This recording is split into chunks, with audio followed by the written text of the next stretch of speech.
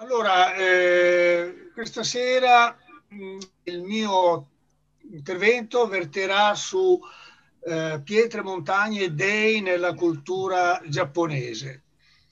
Eh, quindi tratterò sì, delle, delle, pietre, ma naturalmente non le pietre nel senso della, mm, del sui secchi, ma le pietre in generale. E poi le montagne che di fatto sono delle grandi pietre. Eh, tratterò due temi perché il tempo a disposizione è limitato, quindi da una parte il primo argomento le pietre e gli dei, ossia le pietre santificate, le pietre sante in qualche modo, e poi le montagne e gli dei, cioè le montagne sacre. Questi due argomenti. Inizierei eh, intanto con, con, il primo, eh, anzi scusate che provo a fare Aldo, in alto trovi la presentazione, se tu eh, la attivi, ecco, grazie. Così si vede anche meglio, ma ci vedo men- meno bene io però, perché, scusate, eh, ecco, così va meglio. Eh, eh. Allora, eh, le pietre e gli dei è il primo argomento e, e riguarda soprattutto ovviamente la religione mm, autoctona giapponese, cioè lo shintoismo per cui eh, gli dei sono questa presenza invisibile, maestosa, potente, che ispira rispetto, ma anche paura e anche attrazione, qualche cosa di ancestrale in qualche modo e di molto potente. Eh, e lo shintoismo è la religione, diciamo, autoctona, molto viva ancora oggi, e che ha un, un rapporto particolare con uh, la natura. Lo shintoismo rapporta, è il modo di rapportarsi alla natura. Potremmo così veramente sintetizzare questa, questa chiamiamola religione, eh, che ha una grande quantità di dei, di spiriti e, e così via, e cioè che lo shintoismo è come rapportarsi con la natura e il rapporto corretto con la natura è quello di, eh, di, essere puri. La natura è pura e quindi anche l'uomo quando si rapporta al, al, alle forze della natura, ai kami, agli dei, eh, se vuole rapportarsi in modo corretto deve essere puro. Eh, di qui viene una delle come dire, dei riti più comuni, più osservabili anche quando si va in Giappone, che è il rito della purificazione o harai. Questo è che vedete nella, nell'immagine, appunto, è un rito di purificazione dove si sventolano queste, eh, questi rami di un albero ritenuto sacro.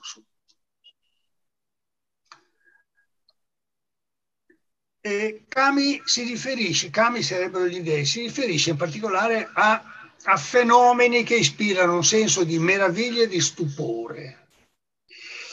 E I Kami possono risiedere nelle cose, ma alcuni oggetti sono particolarmente adatti a, ad accogliere questi dei. Questi luoghi eh, che, o questi oggetti che ricevono lo spirito de, degli dei si chiamano Yorishiro, cioè luoghi e oggetti che sono ritenuti manifestazione o residenza degli dei, o anche Shintai. E sono gli oggetti in cui gli dei risiedono. In particolare possono essere pietre, shinishi, montagne, alberi, cascate, eccetera, tutte, tutti elementi della natura che in qualche modo eh, colpiscono l'essere umano. E fin dall'antichità alcune pietre erano considerate sacre perché erano, eh, come dire, sedi di, eh, degli dei ed erano detti ishigami, cioè pietre dei. Ishi è pietra, kami, gami sarebbero gli dei.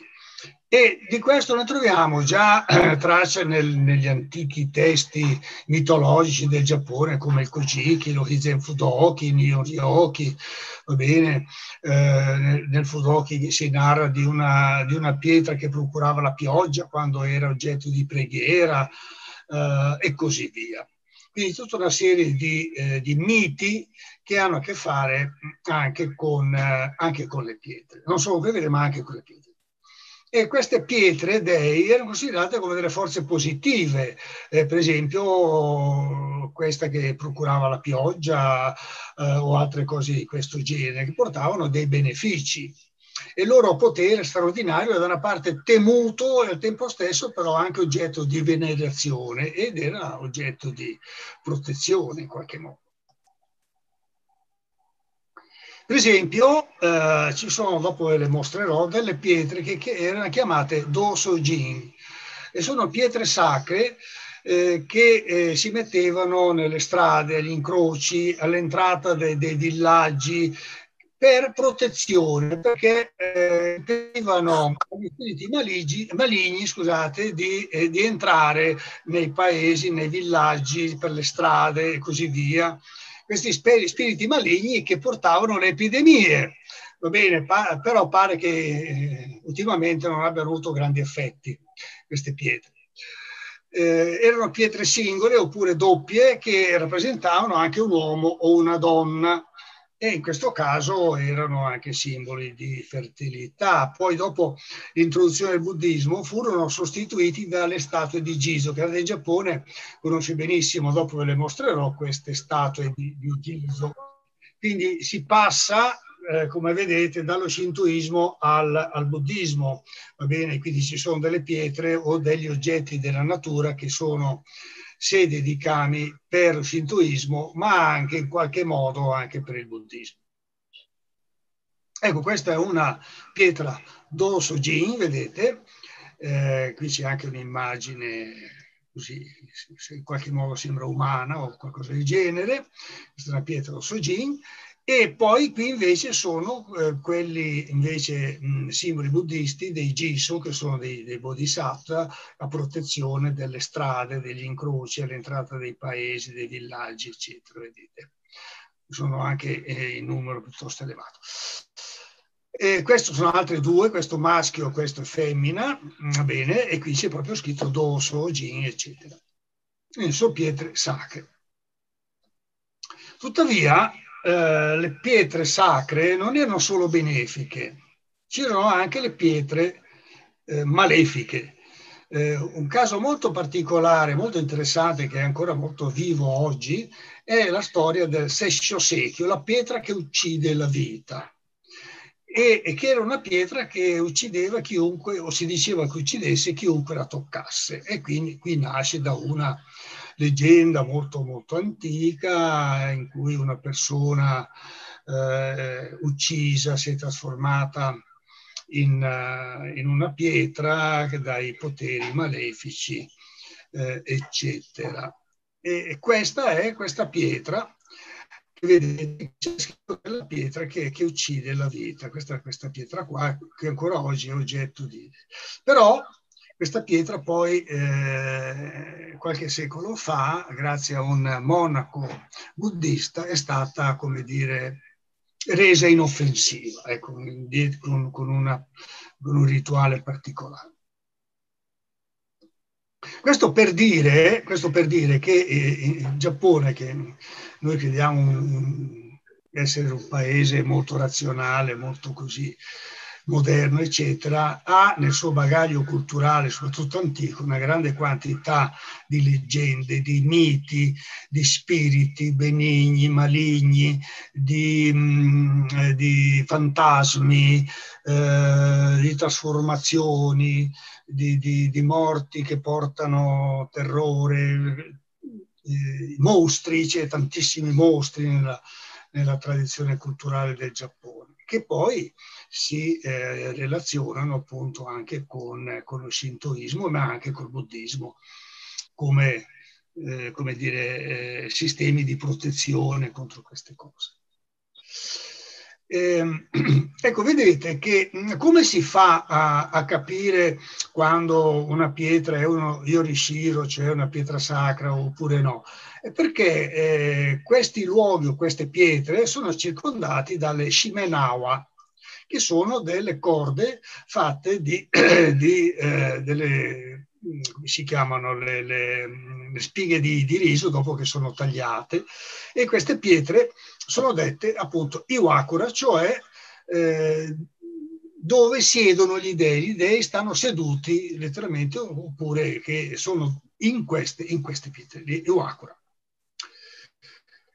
Ecco, qui vedete, per esempio, uh, una, una, persona che prega, questa secondo me è una foto bellissima, che prega una cascata eh, dove c'è questo, vedete, lo Shimenawa, qua, questa, questa, corda tipica che indica qui c'è il sacro, e poi il Gohei, che è un altro segno del sacro.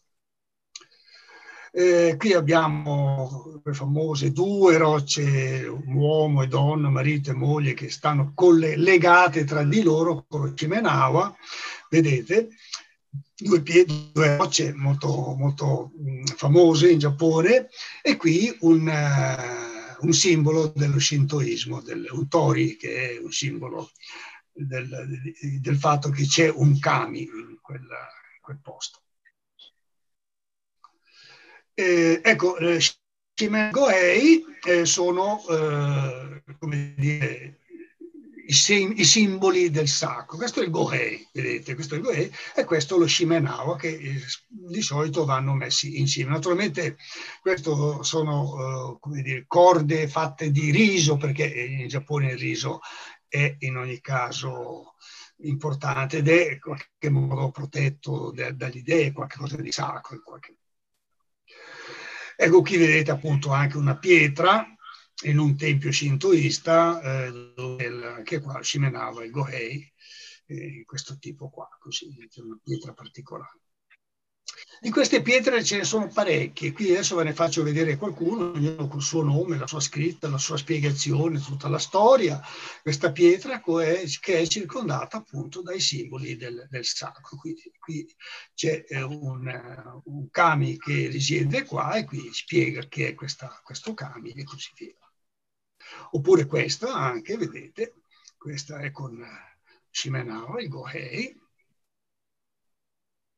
e poi anche questa, questa pietra enorme, eh, scusate, ecco questa pietra enorme, qui c'è la spiegazione, pietra spirituale, una roccia spirituale, dice. Eh, e qui c'è anche un simbolo appunto shintoista, qui il posto dove mettere le monete, naturalmente, ecco, non manca mai. Adesso passerei invece a trattare delle montagne, le montagne e gli dei. Intanto eh, vi faccio notare che eh, pietra più montagna, questo è il carattere per pietra, questa è montagna, messo uno sopra l'altro, montagna sopra, è esattamente il carattere per roccia.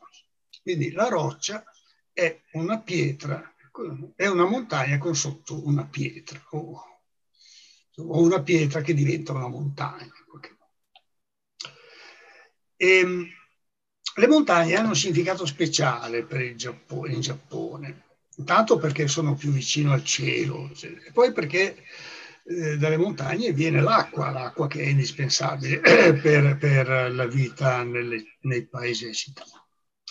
E eh, il culto delle montagne, che i giapponesi chiamano Sangaku Shinko, o credo di montagna, è un culto molto diffuso e molto antico eh, perché eh, tra l'altro le montagne rappresentano quasi l'80% della massa terrestre del paese, quindi sono dappertutto, va bene. Naturalmente la più famosa montagna sacra, eh, che conosciamo tutti, è Fuji-san, Va bene, Fujisan è, è, da sempre la montagna sacra per eccellenza. Se chi la scala quando va in cima trova un tempio shintoista, eccetera. E eh, la prassi rituale vuole che si parta eh, di notte molto presto, che si scali la montagna per arrivare in cima a vedere il sole nascente naturalmente il, pa- il paese del sole nascente, quindi sulla montagna sacra vedere il sole che nasce. Eh, ci sono molte montagne sacre, eh, qui ne cito tanto le, le, tre più famose, sono ovviamente il Monte Fuji. Il Monte Fuji è il potere del vulcano, perché il Monte Fuji è un vulcano, eh, e quindi è, il, il, dire, è la forza, il potere del fuoco. fuoco. Poi c'è il monte Haku, che invece è il, il monte sacro dell'acqua, perché dalla, da questo monte scaturisce l'acqua che poi scende per le coltivazioni del riso nelle pianure. E poi c'è il monte Tateyama, che è un monte particolare per le pratiche spirituali, di cui poi parlerò un po' più nello specifico subito dopo. E eh, Tateyama eh, non è solo eh, sacro per lo shintoismo, ma anche per una scuola buddista che è la scuola della terra pura e anche eh, la sede di pratiche di una scuola eh, buddista shintoista che è lo Shugendo di cui parlerò dopo. Ma le montagne sacre sono molte in Giappone, per esempio molto famose Haguro-san, dopo vi farò vedere qualche immagine, Ontake-san, ma anche Kumano e così via. Ecco, qui vedete per esempio, questo è Haguro, che è una, eh, sulla montagna c'è questo bosco, è una famosissima pagoda a cinque piani, molto visitata. Questo è invece il, il Tateyama, forse tra le montagne sacre quella più alta, vedete anche qua il simbolo, il simbolo del shintoista. E questo invece è Kumano, sempre in montagna, con questa pagoda invece a tre, a tre strati. Kumano è un, un tempio anche lui shintoista, ma la pagoda ovviamente è buddista. E qui vedete la, dire, la scalata in una stampa antica al, al Monte Tayama per andare al, a questo tempio a pregare il Dio che risiede su questo monte. Ecco, un discorso molto interessante, molto importante eh, nel rapporto tra gli uomini e le montagne eh, è il rapporto tra Yama, che è la montagna, e Sato, che è il, il paese. Eh, chi è stato in Giappone eh, avrà visto, avrà notato, penso, che ehm, le città giapponesi sono tutte in piano. Anche qui vedete sulla collina montagnola, qua abitazioni umane non ce ne sono. È molto raro trovare eh, villaggi, paesi, case sulle montagne. Sono sempre tutte nel, nel piano, nel villaggio, sotto la montagna. E come in questo caso, ho preso questa foto apposta, vedete che il tempio shintoista è ai piedi della montagna, cioè nel, al limite tra la montagna e il piano. La montagna per i giapponesi è il luogo dove vivono gli dei. Il piano è il luogo dove vivono le persone, gli uomini. E il il limitare tra il, la montagna e il piano è il luogo dove gli uomini possono incontrare gli dei. Gli dei scendono dalla montagna e entrano qua e gli esseri umani dal piano si spingono fino alla falda della montagna. E qui avviene l'incontro tra gli dei e gli uomini. Dopodiché però gli uomini tornano nel piano e, il, e gli dei tornano sulle montagne.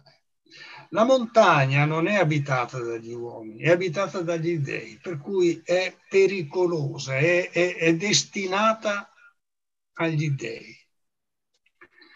Eh, vorrei citarvi questa, questo breve brano dove si dice che nella dicotomia tra Yama e Sato, cioè tra montagna e il villaggio, Sato è il villaggio, eh, è stato un metaconfronto, il costruito e il selvatico, l'ordinato e il disordinato, il regno dell'uomo che controlla la natura e il regno naturale in cui l'uomo non interferisce. Sono due spazi eh, separati, ma sono anche due spazi culturali. Il mondo coltivato associato agli uomini, il mondo selvatico, la sua antitesi, è associato a ciò che non è umano e quindi gli dei, ma non solo gli dei, va bene, ma anche per esempio gli spiriti dei morti, eh, tutto quello che, come dire, non è umano. Sono, ecco qua, il regno degli spiriti dei morti, dei mostri e anche degli dei. Vedete che in questo caso la montagna mh, mm, eh, rappresenta non solo gli dei, ma anche, eh, ma anche, i mostri, ma anche i morti, tutto quello che, ecco, che è misterioso, irrazionale, oscuro, incomprensibile, selvaggio, primordiale, inconscio, disordinato, mentre il villaggio è esattamente il contrario, e cioè tutto quello che è evidente, razionale, chiaro, strutturato, civile, voluto, conscio e ordinato. Questi sono i due mondi separati che, eh, che hanno sfere diverse ma che cercano in qualche modo con delle ritualità, con de, degli, dire, degli schemi prefissati e così via, di contattarsi, non andare insieme, mettersi insieme, ma di entrare in contatto perché la natura e gli dei della natura fanno paura all'uomo, Pensate ai Giappone, terremoti, tifoni, tsunami, la natura è terribile. E eh, gli uomini che devono sopravvivere devono oh, rapportarsi in modo pacifico, armonioso con queste forze della natura per eh, fare in modo che siano benevole verso eh, gli uomini. Ecco, qui vedete un tempio molto famoso proprio su cima alla montagna e lo Yamadera. Eh? Eh, queste montagne dove ci sono appunto gli dei, i templi, eccetera, si chiamano Kannabiyama, Kannabiyama, cioè montagne su cui ci siedono gli dei, mm? o anche Yam, eh, e, gli dei sono i Yamano. Questo è molto famoso, eh, meta anche di molte escursioni turistiche. Yamadera. Ecco, qui abbiamo eh, dei sacerdoti, come vedete, molto particolari. Questi sono gli Yamabushi, cioè coloro che vivono e praticano ascesi in montagna. Yamabushi vuol dire giacere in montagna, nel senso che dormono, vivono e praticano sempre sulle montagne. Quelle montagne che dicevo prima, per esempio l'Ondake, il Kumano, eh, e quanti altri, insomma, no? montagne eh, appunto eh, de- deificate, spiritualizzate, dove eh, i, eh, questi Yamabushi, ma anche altri eh, sacerdoti, per esempio shintoisti o buddisti, vanno a praticare perché lì si possono incontrare gli dei, si possono incontrare le forze della natura incontaminate ma eh, non è facile, bisogna sapersi rapportare, bisogna fare delle pratiche molto severe. Così. Il, gli Yamabushi, che oggi, tutt'oggi ancora esistono, del, erano originariamente delle specie di santoni, va bene, che circolavano. Ho finito il tempo? Sentivo delle voci che mi richiamavano. No, no, no Aldo, vai pure, non, nessun problema. Ah, ecco, sì, sì, scusate.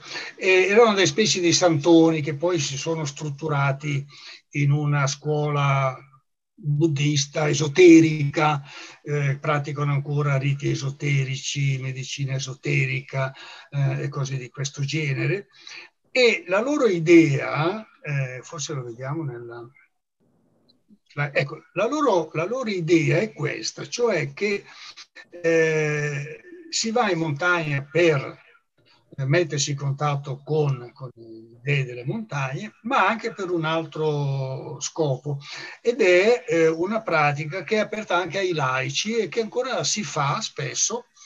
Eh, abbastanza severa, e cioè l'attraversamento della montagna. La montagna rappresenta in qualche modo un, eh, dire, una rinascita, la possibilità di andare nel mondo dei morti, che è la montagna, attraversare il mon- monte dei morti, la, il luogo dei morti, per rinascere quando si arriva dall'altra parte, sul piano, dall'altra parte. di partire dalla, dalla, dalla dimensione umana del, del, della pianura, attraversare questo luogo eh, misterioso, mo, in qualche modo morire spiritualmente e rinascere, rinascere puri, mondati di le, eh, tutti i peccati, di tutti i difetti che si hanno, venire rinnovati. Infatti coloro che partecipano a, questa, a, quest, a questo rituale eh, vestono di bianco, no? vestono di bianco perché eh, il colore appunto de, della purezza. Ma che cosa fanno? Fanno uh, una pratica molto severa di questo tipo, cioè corrono sulla montagna e ci mettono parecchi giorni, anche una settimana, dieci giorni, va bene, per attraversare tutta la catena montuosa, eccetera, e um, corrono eh, recitando dei sutra. Corrono recitando dei sutra, poi ogni tanto in certi luoghi dove si ritiene che, che, che risiedono degli dei, si fanno dei rituali particolari, si fanno delle preghiere, si fanno delle abluzioni, quello che avete visto prima all'inizio che davanti alla cascata, no?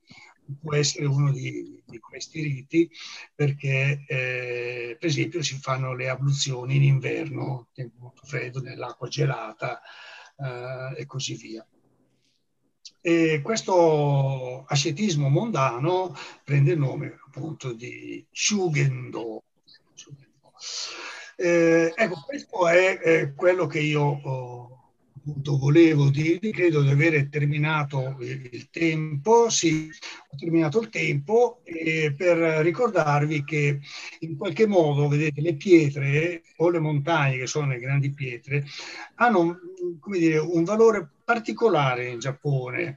Eh, quando poi adesso mm, il collega eh, ne parlerà, Merlo, di questo, dei giardini, ma io mi ricordo che quando la prima volta andavo in Giappone a vedere i giardini giapponesi, ma anche i giardini privati, quelli piccoli i giardini delle case e così via, ero sempre molto stupito perché eh, sono giardini sempre pieni, pieni, di pietre, ci sono tante pietre grezze, attenzione, pietre grezze perché eh, devono essere assolutamente naturali.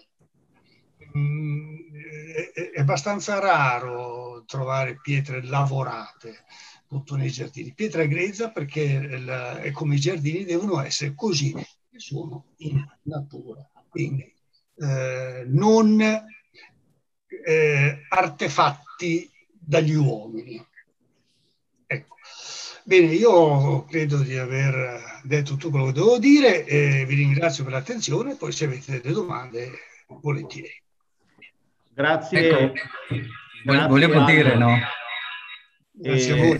Un attimo, un attimo soltanto, eh, cercate appunto di non eh, aprire i sì. microfoni se non dovete parlare o intervenire perché ci sono dei brutti rientri. Eh. Soprattutto se avete cellulare. Ecco, volevo capire se le differenze concettuali tra le montagne e che da uno che è nato sotto il Monte Rosa, differenze tra, tra il concetto in Occidente rispetto all'Oriente della montagna, perché anche in Occidente ha un significato molto, molto forte. Grazie.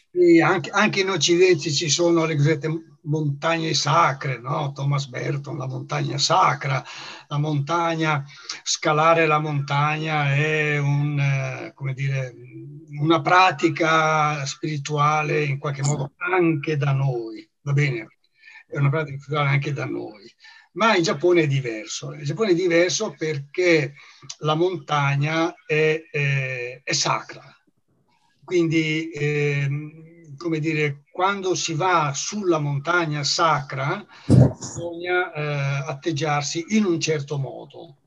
Eh, non si va semplicemente per eh, purificare se stessi, no, si va a incontrare una potenza che può essere benefica, può essere anche però malefica, eh, qualche cosa di, di, molto potente e quindi bisogna, bisogna stare molto molto attenti. Questo è una cosa che, che, è molto presente in Giappone ed è un, come dire, ci sono queste montagne, Fuji no perché evidentemente Fuji è sì montagna sacra, ma insomma ci vanno su tutti. Ma le altre montagne che sono le vere montagne sacre in qualche modo sono molto, come dire, rispettate in questo senso, sì, sì, molto rispettate. Sì, cioè la montagna non è, come dire, il, lo strumento per un proprio esercizio anche spirituale, come può essere da noi, va bene? La montagna una vale l'altra se io riesco a andare fino in cima, no, c'è la montagna che sa che l'altra che non lo è, c'è quella montagna dove c'è il tal Kami che vado a incontrare in qualche modo. Ecco. Secondo lei, professore, mi sente? Sì. Secondo lei oggi eh, il Giappone come fa a conciliare suo, il suo credo shintoista, eh, molto radicato, con i discorsi che si sentono oggi di scaricare in mare, quindi a mancanza di totale di rispetto nei confronti della natura, di scaricare le acque eh, diciamo, di Fukushima. Eh, sono molto arrabbiato anch'io. Eh, sì, eh, ci sono, eh, il Giappone è un paese di grandi contraddizioni, va bene, probabilmente in questo caso sono proprio presi per il collo, non lo so. Eh, certo non è una, una bella cosa, ma penso che sono un po' disperati in questo senso. Eh, però devo dire che eh, ecco, il, lo spirito shintoista è ancora spesso presente, molto presente. Eh, io mi ricordo di, di, aver assistito a, ma anche con Edo, a delle cerimonie shintoiste per placare gli dei in un posto dove doveva essere costruita una, una, una casa, insomma, eh, oppure quando una ditta eh, si apre di, di, fare delle cerimonie shintoiste o mettere un tempio shintoista in piena città di Tokyo, un angolino dove c'è la ditta, eccetera, eccetera. Quindi, eh, come dire, nonostante tutto, sono cose che sono ancora molto presenti. Eh, in Giappone. Se uno va in questa dire, dimensione del, delle chiamiamole pratiche spirituali in senso ampio, si trova ancora molta gente, molti giovani anche che come dire, aderiscono, praticano, si interessano e cose di questo genere. Se uno va per esempio anche nei tempi shintoisti, trova sempre parecchia gente che va a pregare, eccetera, che va anche solo a visitare il tempio per dire una preghiera, ma insomma non è che siano preghiere, ma insomma per fare una visita, ecco, quello sicuramente. Quello, eh, ma il, il, sentire per esempio le persone che ti dicono che la natura ha uno spirito, è molto comune in Giappone, dire quella pietra ha uno spirito, quella cascata ha uno spirito, quella montagna ha uno spirito, è molto comune.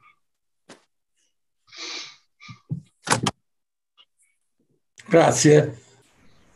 Si potrebbe, si potrebbe Aldo dire che eh, la montagna in qualche modo custodisce eh, un aspetto, mh, mm, possiamo dire, proprio religioso, cioè eh, i kami che vivono nella montagna devono essere rispettati, ecco. E quindi c'è forse la, la differenza sta proprio in questo, no? sul fatto che per esempio come dicevi, no, non possono neanche costruire eh, case, mm, diciamo, per abitare sulla montagna. Questa è una grande differenza rispetto a, al nostro modo di pensare, al nostro modo di vedere. Noi pensiamo alla montagna come un luogo forse meno ospitale, ma eh, se, se, se, ci sono mh, migliaia di esempi di case costruite in montagna, mentre là no, perché viene considerata proprio il luogo sacro e dedicato ai, uh, ai kami, quindi insomma a, agli dei. Questa è una grande differenza secondo, da quello che ho capito. È, è, è, così, ma con un'aggiunta però secondo me, e cioè che non è solo la questione del rispetto uh, per dire, gli spiriti che vi abitano, ma anche perché non è sano stare lì. Perico- può essere anche pericoloso, può essere anche, come dire, eh, non è il posto adatto eh, per, per, abitare, per vivere lì, perché ci sono del, del, degli spiriti che non, che non, sono gestibili, ecco, che non sono gestibili per cui chi lo sa, no? che cosa, che cosa può succedere. E quindi è meglio, eh, meglio come dire, avere grande rispetto per i cani, grande rispetto, ma ognuno a casa sua, come si suol dire, no? rispetto che non ci si disturbi vicendevolmente, che quando, ci, quando si disturba qualcuno, qualche, qualche spirito, bisogna chiedere permesso, scusarsi, eccetera, eccetera, ma eh, possibilmente ognuno cioè non c'è commistione, c'è rispetto a distanza possibilmente, sì. Eh, ricordo Aldo quando siamo stati eh, nel giardino del maestro Kobayashi che stava edificando eh, la, sì. la, la, nuova struttura per gli allievi, quella gran- è stata una bellissima ehm, come dire, cerimonia da parte eh, di questo eh, monaco shintoista, non so come definirlo, insomma, ma eh, che, ha, che, ha, praticato tutta una serie di, di, di, di eh, così, ha, benedetto, ha, benedetto, ha, benedetto, la terra, il piccone, la pala, eh, ha fatto un, insomma, è stato molto bello da vedere e, e, e appunto a, a, mi ha fatto capire l'importanza che questa cosa eh, nella tradizione insomma c'è. Eh, noi abbiamo perso tutto questo, non c'è più insomma. Sì, però dopo se tu probabilmente se tu gli chiedi al maestro Kobayashi ma tu a questa cosa ci credi, probabilmente ti dirà di no. Ma a scanso di equivoci non si sa mai. Non si sa mai, è meglio farlo costerà qualcosa, ma non importa, è sempre meglio. e c'è questo rapporto, capito, di non si sa mai, ognuno a casa sua, facciamo tutto quello che si deve fare per non andare a pestare i piedi a, a forze che magari, che magari sono incontrollabili, non si sa dove si va a finire. Ecco. Questo è un caso tipico, sì, caso assolutamente certo. Bene, se, eh, se non ci sono Altre domande per il professor Tollini? Sì. Io, io passerei la parola a Francesco e casomai poi si può anche tornare indietro, tanto Aldo sta con noi stasera fino alla fine, quindi casomai se a qualcuno viene in mente qualcosa può farla anche dopo la domanda. Eh. Allora, Francesco, se vuoi, puoi tornare in, uh, in video sì. Eh, eccoci qua, ottimo, grande Francesco. Se vuoi ehm, condividere il, il, le immagini, il PowerPoint o quello che, che hai, insomma. Mi, mi, confermi, dovreste vederlo? Io ti vedo e perfetto, ci sei. Parti pure, grazie okay. Francesco. Eh, grazie a voi. Io pre- prendo il passaggio del prendo il passaggio del professor Tollini che ha terminato dicendo che i giardini giapponesi, anche quelli privati, sono veramente ricchi di rocce. Ed è vero, di rocce ce n'è un'infinità. Chi è stato in Giappone o chi anche solo per curiosità ha cercato su Google Immagini i, i giardini giapponesi si sarà accorto che la roccia c'è, è presente, è, è indubbio che sia un elemento tipico di, di questo particolare giardino. Ehm, però vorrei parlare del, del, tema delle rocce presenti nel giardino giapponese attraverso tre concetti che sono il più che altro, più che altro relativi al, al, mio mestiere, al mestiere della progettazione e realizzazione del giardino. Quindi eh, quegli aspetti che nel momento in cui ci troviamo a dover gestire, eh, a seguito della richiesta di un committente, dover gestire uno spazio di, di ispirazione o tipicamente giapponese, beh, salta sempre fuori il concetto di significato. Ovvero, il più delle volte si ritiene che se eh, la roccia all'interno di, di, di, uno spazio di giardino eh, non abbia un significato, è, è, è mancante di qualche cosa. Eh, cercherò in questo racconto che, che, vi faccio in primis in un eh, excursus velocissimissimo, rapidissimo sulla storia del giardino, di eh, mettere in evidenza come eh, i giardini che reggono nella composizione per il significato delle rocce, ovvero i cosiddetti giardini secchi, eh, sinonimo anche per noi in Occidente dei giardini zen, non sono poi la totalità dei giardini che ci sono in Giappone. Sono significativi, certo, assolutamente, sono importanti, sì, tant'è vero che sono così diversi dal nostro concetto di giardino che molto spesso, proprio in virtù di questa differenza, la differenza ci stupisce, ci rimane impressa nella mente, diventa per noi quasi emblema di giardino giapponese. Ma non è così. Il giardino, pur sempre fatto di rocce, non sempre deve per forza avere dei significati eh, è un po' come se pensassimo che la cucina italiana è la pizza. Beh, non è proprio così. Certo, la pizza, la pasta sono importantissimi, caspiterina se non caratterizzano la cucina italiana, ma pensare che non ci siano le tipicità delle, delle cucine, cucine, regionali, che non ci siano anche le carni, il pesce e chissà che cos'altro, beh, ci toglie gra- una buona fetta, una buona parte del potenziale gastronomico della nostra cucina se ci limitassimo sempre a considerare che se vogliamo mangiare italiano mangiamo la pizza oppure la pasta al pomodoro. Ecco, eh, pur estremizzando, e vi chiedo scusa se ogni tanto estremizzo, ma eh, sono abituato in questa maniera quando tratto le, il tema, ecco, eh, su questa certezza cercherò di, di, di trattare il tema delle, delle, rocce all'interno del giardino. Quindi sì, capire che è importante che in alcuni casi abbiano un significato e il significato regge la composizione del giardino, ma il più delle volte la roccia è un elemento che ci permette di ricreare scorci, ambienti, anche idealizzati di una natura e vedremo come nel corso dei secoli, attraverso la, il breve excursus che farò, eh, dapprima forse la natura un po' idealizzata, quindi quella che viene raccontata, si parla anche di monti eh, immaginari, montagne sacre, il Monte Sumero, quindi anche cose mai viste, mai idealizzate, ma man mano che passano i secoli e ci avviciniamo ai giorni nostri, la natura nei giardini giapponesi, soprattutto quelli moderni, diciamo dall'epoca Meiji in poi, eh, diventano veramente riproposizione di ambienti naturali e il giardino viene considerato bello al passo col tempo, quasi se la mano dell'uomo non si vede, se la mano del niwashi, del giardiniere, non si vede.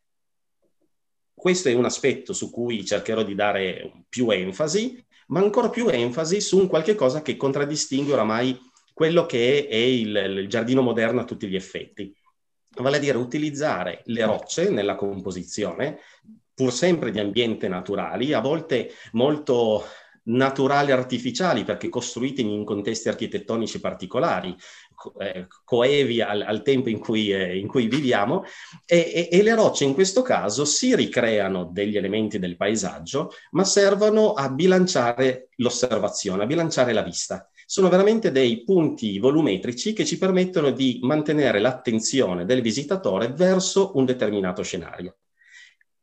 E questi sono quindi i tre temi che, che voglio affrontare con voi questa sera. Prima di tutto facciamo l'escursus storico, quindi galopperò dal 600 eh, al 2000, cerco di, di, farlo in un quarto d'ora, eh, ma faremo un excursus veramente veloce veloce, cercando di dare eh, in maniera molto da, da abstract, da bignami, da, da, eh, come dire, da conoscenza alla Wikipedia, per intenderci, ma focalizzata su alcuni cer- eh, concetti eh, chiari che, che contraddistinguono la storia dell'architettura del paesaggio in Giappone. Partiamo da quello che, che ha, ben, eh, ha, ben, raccontato e abbiamo ben compreso da parte del professor Tollini. Quindi da sempre la roccia è presente, è presente e se la consideriamo come eh, spazio sacro in cui il, il, kami si manifesta e risiede, ecco che il cingerlo può diventare nel, nella lettura occidentale la prima forma di, di, giardino, perché per l'Occidente il giardino è ciò che è definito da una eh, definizione di un'area.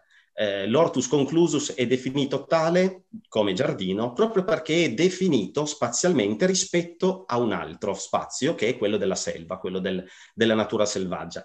Ebbene, l'Iwakura nella lettura che possiamo dare anche noi occidentali nella definizione dello spazio è, è giardino, perché è una definizione di un ambiente sacro in cui il kami risiede.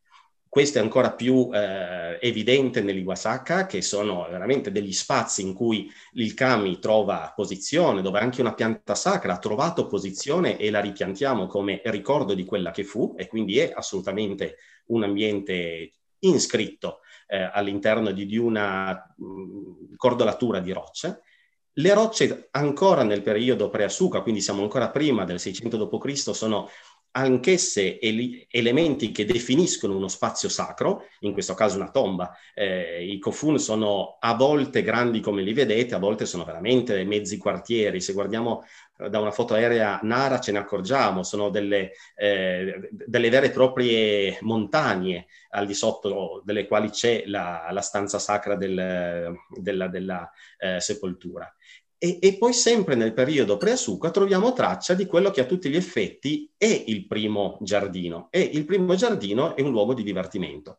È un luogo di divertimento dove la costruzione sapiente del paesaggista, del giardiniere dell'epoca, di sicuro lavorando la terra, ma utilizzando le rocce per poter eh, indirizzare il corso del fiume, andava a creare un fiume, un, un rigagnolo sul quale veniva fatta eh, navigare una barchetta eh, che portava una tazza di sake. E allora il gioco era quello di eh, completare una poesia, proferire poesia, prima che questa tazza arrivasse. Ebbene, e questa è la prima forma di giardino scritta che troviamo come, come, eh, diciamo, come memoria storica del giardino. Se andiamo avanti eh, nel pre- periodo Asuka, quindi poco dopo, troviamo citato veramente il primo, il primo giardino eh, e, e, questo riporta la presenza di un monte sacro, che è il monte Sumeru, a volte ottenuto attraverso la sovrapposizione anche di alcune rocce, ma è pur sempre un, un monte sacro eh, all'interno di, di, un padiglione determinato di, di un, del, dell'imperatore dell'epoca. Passa un po' di tempo, arriviamo all'epoca Nara, e sono questi giardini che riusciamo oggi a trovare e a studiare grazie agli scavi archeologici, quindi non li troviamo più solo perché descritti e raccontati su scritti, ma li troviamo perché oggetto di scavo archeologico. E se eh, abbiamo la fortuna di eh, visitare Nara e visitare gli scavi archeologici, ecco che eh, possiamo pensare di fare due tappe principali a Nara. Uno è questo, ed è il giardino delle Kyukusuino-en, che è proprio quel giardino eh, in cui si fa navigare la barchettina con la tazzina di sake eh, che eh, diventa gioco e, e, anche paesaggio, perché vedete che è a tutti gli effetti un, un fiume, è un corso d'acqua ben, ben impostato e quello che vediamo oggi è esattamente il frutto dello scavo archeologico, quindi vediamo come la roccia fosse già utilizzata nel periodo Nara per definire il movimento dell'acqua. E l'altro giardino e questa è la vista che si ha dalla, diciamo, dalla villa dell'epoca, e l'altro giardino è quello che viene definito con lago isole al padiglione est dei grandi scavi archeologici della città di Nara. E qui c'è un, un lago, eh, c'è una ricchezza botanica che mai più potremmo immaginare perché eh, negli scavi archeologici sono state anche trovate le banche segni dell'epoca e quindi eh, si capisce anche la ricchezza botanica del, di questi giardini e dei colori, dei profumi, delle fioriture. E il, questo grande lago è ottenuto proprio con l'utilizzo del, dell'impermeabilizzazione del fondo con dei ciotoli e la gestione di, eh, di rocce scenografiche che hanno probabilmente anche loro delle, delle, dei significati ad oggi non tutti ben definiti, ma c'è una composizione in particolare sul retro di questa villa che mi ricordo bene eh, quando l'abbiamo visitata, studiata in occasione di, di, del mio periodo così di, di studio al, a Kyoto, eh, il professor Maca, eh, eh, Nakamura eh, metteva particolare enfasi nel, nel, riflettere su questa composizione che eh, aveva un dinamismo eccezionale e, e, e, poteva essere interpretata, letta in chiavi molto diverse, da una riproposizione del Monte Sumeru seletta dal, dal retro a, una, eh, a un'idea di, di, animali in corso di, di eh, rincorsa verso l'acqua se vista da altre angolazioni. E questo per raccontare come eh, queste forme, queste prime pietre in questi primi giardini dell'epoca nara potevano evidentemente avere duplici e molteplici letture, soprattutto agli occhi del, di, di, un osservatore del, del XXI secolo.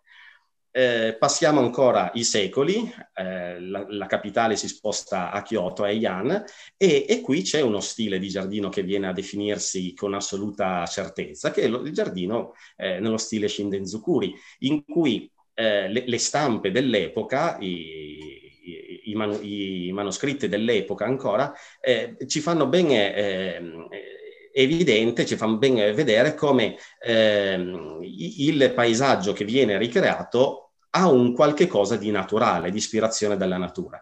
E qui la roccia è evidente perché il salto di quota delle cascate, gli scogli che ricordano quasi sempre l'oceano, il 99% l'oceano piuttosto che un lago. Lo specchio d'acqua nel giardino è molto spesso, il più delle volte mi sento di dire, eh, ricordo della costa oceanica più che il lago Biwa, per intenderci. Eh, ci sono pochi giardini in cui l- lo specchio dell'acqua è effettivamente eh, racconto di un lago, il più delle volte è un grande mare, un grande oceano. Allora tutte quelle rocce frastagliate che caratterizzano la costa di questo, eh, di questo specchio d'acqua all'interno della, eh, della proprietà del giardino eh, ricordano, evocano degli, degli, ambienti costieri tipici del, del Giappone. Sempre in questo periodo viene a definirsi un altro stile, più tipico delle, dei templi, quindi delle, degli ambienti monastici, eh, quello precedente è evidentemente un giardino del diletto, del, del piacere eh, e della festa. Il giardino stile Giodo invece è, è, un giardino che è ancora presente, lo troviamo in alcuni templi, eh, il Joruji è forse quello più studiato, più, più evidente, più, eh, più rappresentativo di questo stile, in cui eh, su due sponde di, di, questo specchio d'acqua, di questo grande oceano, eh, è posizionata sulle due sponde, da una parte la pagoda, dall'altra la sala della preghiera. Eh, questi due luoghi sono connessi visivamente dalla presenza di due lanterne, una sulla sponda della, della stanza della preghiera, una sulla sponda della, eh, della pagoda, ehm, e queste lanterne fungono da faro da faro per noi per poter eh, raggiungere eh, diciamo la, la, la, la divinità il, attraverso la preghiera, perché guidati dalla luce della lanterna che è prossima alla stanza della preghiera e ancora più guidati da quella che c'è dall'altra parte della sponda, in prossimità della pagoda che punta verso il cielo, ecco che abbiamo chiara la direttrice che dobbiamo eh, intraprendere col nostro sguardo e con la nostra mente con la nostra preghiera. Viceversa, eh, il monaco ci racconta che è anche un, eh, un segno di, di, di, percorso all'inverso della divinità che riesce a raggiungerci grazie a questa discesa contraria. Importante quel, quella composizione centrale che eh, ci permette di rimbalzare lo sguardo da una, da una sponda all'altra. Se non ci fosse, probabilmente eh, il nostro sguardo non sarebbe attratto ad andare dopo, oltre la prima lanterna, ma si eh, chiuderebbe come prospettiva sul primo fronte. Invece questa composizione eh, di sicuro facilita il rimbalzo dello sguardo ehm, se volessimo vedere, leggere qualche forma nota nelle composizioni classiche di alcuni templi che, che troviamo in Giappone, potremmo anche vedere Tsurujima in questa composizione, con le due pietre grandi che ricordano le ali e la pietra piccola che ci sta guardando, che è il, è il collo, e quella retrostante la, la coda. Ma sono, diciamo, di nuovo composizioni che... Eh, evocano delle forme di, di, animali fantastici come anche la tartaruga. Ci sono anche altre composizioni come Kamejima, oltre alla gru, che eh, in relazione alla posizione delle pietre e, e alla gibbosità della, della collinetta che è, è, è, iscritta in queste pietre, eh, può evocare la forma di una, di una tartaruga.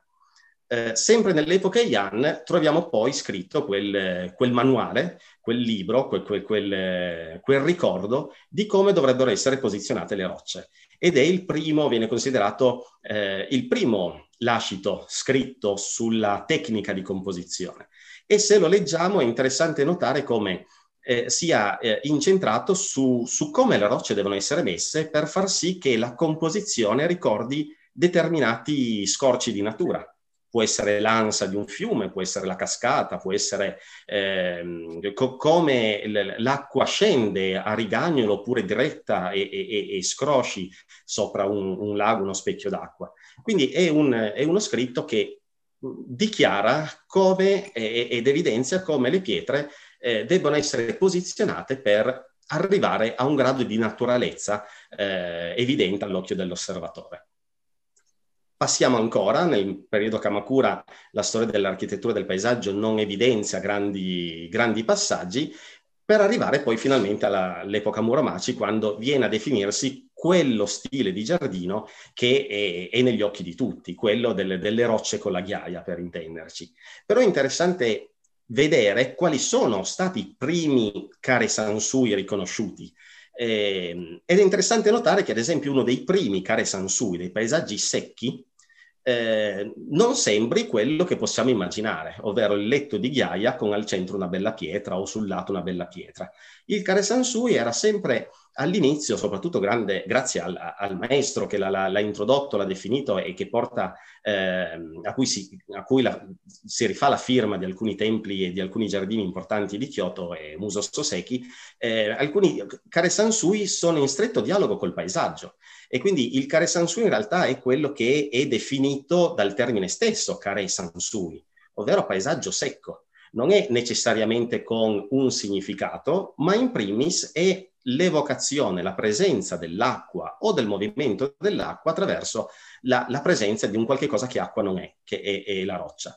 E questa cascata eh, famosissima del Tenryuji eh, è oggetto di, di, di, molte interpretazioni. C'è chi dice che in realtà è, in, nei tempi originari era una cascata d'acqua effettiva e c'è chi dice invece che a tutti gli effetti è nata come Kare Sansui, quindi come una, una cascata priva di, di acqua eh, ed eccola qui. Quindi oggi la percepiamo il salto dell'acqua, possiamo immaginare che ci sia l'acqua che salti da una roccia all'altra e scenda e arrivi ad alimentare questo, oceano, ma eh, non c'è l'acqua e questo è il potere evocativo che ha in assoluto il Kare Sansui.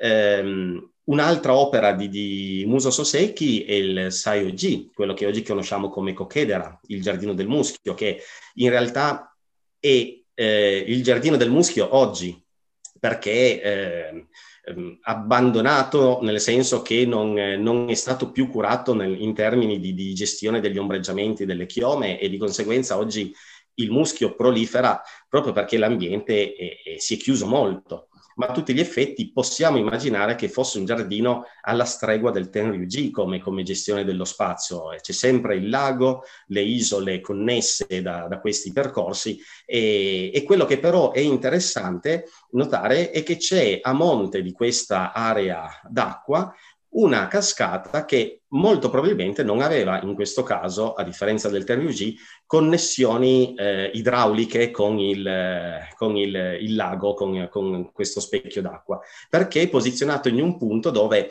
l'acqua difficilmente sarebbe potuta arrivare effettivamente nell'acqua del lago. E, e di conseguenza è considerata veramente la prima cascata realizzata con la tecnica del Kare Sansui, ovvero realizzata con l'intento di dare l'impressione della presenza dell'acqua, del, del salto naturale dell'acqua, pur non essendoci alcuna goccia sopra queste, queste rocce.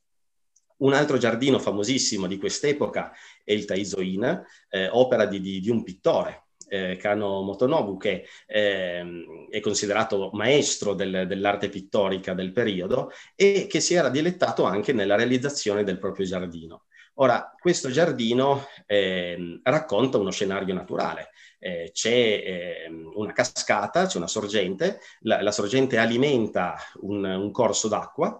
È, è interessante questo giardino perché eh, ci permette di, di, di, avere anche delle interpretazioni diverse nello scenario naturale, perché lo specchio d'acqua non è eh, noto se voluto nell'immagine di un greto secco fin dall'inizio o di un grande fiume in piena che sta proseguendo. Quindi questa duplice lettura opposta, greto secco rispetto a fiume eh, in piena e pieno di acqua, è, è, quello che molto spesso, molto spesso, affascina anche del giardino Care Sansui, soprattutto quando eh, ha in sé il, la velleità di insegnare, di raccontare qualche cosa. Eh, in questo giardino troviamo poi anche posizionate nello scenario eh, nello scenario, quindi nella quinta scenografica del, del fiume, della sorgente, anche delle composizioni che sono poi diventate eh, tipiche di, di, molti templi buddisti. Qui vediamo, la, la riconosciamo tutti, la triade, la, la, la, pietra principale al centro con le due a destra e a sinistra che ascoltano, che sono in procinto di, di guardare, osservare ed ascoltare.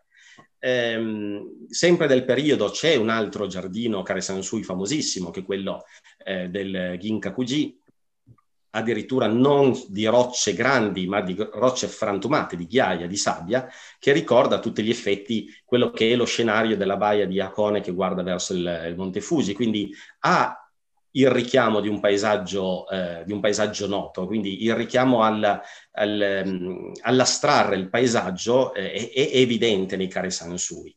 E solo verso la fine, guardate anche solo le date del periodo Muromaci, quindi verso la fine del periodo Muromaci, eh, troviamo un giardino che è nel cuore di tutti come esempio di giardino eh, zen per eccellenza, in cui si insegna, eh, ma si insegna sempre attraverso una duplice lettura, perché questo giardino eh, ce lo racconta anche il monaco quando andiamo a visitarlo ha un, un, racconto paesaggistico perché c'è una sorgente di un fiume, c'è un, un paesaggio montano molto molto eh, tumultuoso come, come, insenature, come rigiri di acque. Eh, que, questo torrente eh, a un certo punto si allarga, ospita, eh, proprio perché diventa balnea, eh, balneabile, navigabile, ospita anche una nave, una barca, e f- fino ad arrivare al grande oceano che è quello che vedete nella parte bassa della, dell'immagine.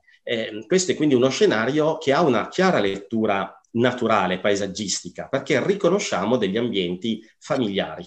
Eh, ancor più se siamo giapponesi, perché riconosciamo del, degli ambienti simili a quelli che, che abbiamo visto fin, fin, da bambini o che ci hanno raccontato fin da bambini. Eh, in questo caso, ma in questo caso, quando il giardino buddista, il giardino Kare Sansui viene eh, utilizzato nell'ambito buddista del giardino all'interno del tempio, ovviamente insegna, perché è strumento di insegnamento. E, è uno strumento che nell'epoca Muromaci era utile per poter raccontare qualcosa. Eh, non è poi così lontano dai nostri affreschi. Se pensate agli affreschi dell'epoca medievale nostri, perché si affrescavano le chiese, perché si affrescavano le, le pareti?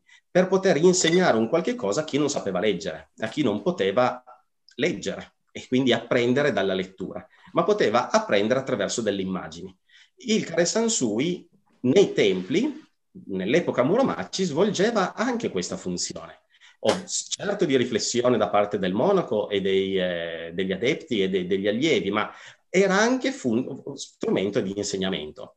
E allora questo percorso dell'acqua è il racconto di, di, di una vita, de, de, de, dell'inizio della vita tumultuosa che che, che, è fatta di, di, di, di, tante avventure che vanno a destra e a sinistra, ma a un certo punto, eh, e qui troviamo anche ad esempio la carpa che nuota controcorrente e, e ci fa capire che dovremmo andare, eh, come dire, trasformarci nella fenice e, e volare, ma è, è, un percorso d'acqua che a un certo punto eh, ci porta ad avere un'imbarcazione piena delle, delle esperienze della vita che, che naviga verso questo oceano, ovvero verso quell'angolo giù in fondo di quella eh, cazzura che vedete giù in fondo, che è l'albero, è un albero sacro, un albero in cui è possibile eh, trovare l'illuminazione, ma per arrivare ancora a quell'albero vediamo che ci sono ancora due coni, due elementi innaturali che ci, ci bloccano nella navigazione e sono quelle, que, quelle, quei freni che ciascuno di noi ha eh, un, da umano per arrivare alla, a, all'ascesi.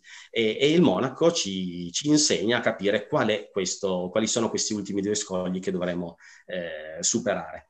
Eh, ecco, in questo tipo di giardino è evidente che la roccia, la pietra insegna.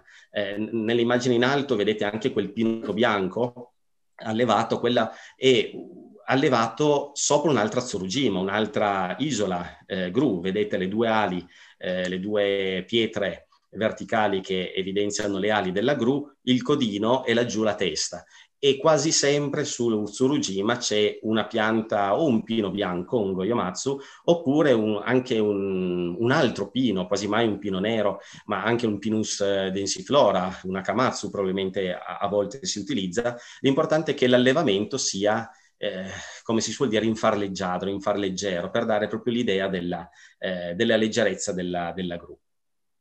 Eh, qui vedete una foto storica che come, evidenzia come eh, quello che oggi è un setto di passaggio in realtà è un qualche cosa messo relativamente di recente in una fase di allargamento del, del tempio, ma in realtà era, vedete, il paesaggio eh, che, dell'acqua che, che, arriva dalla cascata, eh, dopo una, l'ultimo salto di quota diventa navigabile, c'è la barca e questa direzione ci porta poi verso l'oceano. Oggi in cors- corrispondenza di questo salto c'è un passaggio eh, che, che, collega due ali del, del monastero andiamo avanti negli anni, lo stile Kare Sansui è sempre più evidente eh, all'interno dei monasteri eh, e, e, e, qui un aneddoto che, che, ritrovo molto interessante, che mi ha illuminato quando me l'hanno raccontato eh, e me l'hanno spiegato. Ora, ehm, i templi una volta non erano così grandi.